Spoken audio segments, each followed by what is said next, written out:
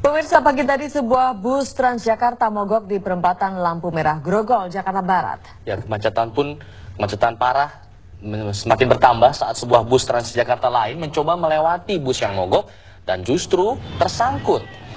Inilah kesemrawutan arus lalu lintas di sekitar perempatan Grogol Tanjung Duren Jakarta Barat pagi tadi.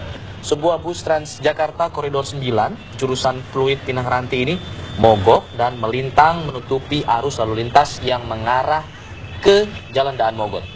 Kemacetan bertambah parah saat sebuah bus Transjakarta Koridor 8 jurusan Harmoni Pondok Indah mencoba melewati bus yang mogok dan akhirnya justru tersangkut sehingga menutup total arus lalu lintas yang mengarah Daan Mogot. Sementara itu pramudi Transjakarta yang mogok mengaku tidak tahu apa penyebab bus yang dikemudikannya itu tiba-tiba mogok.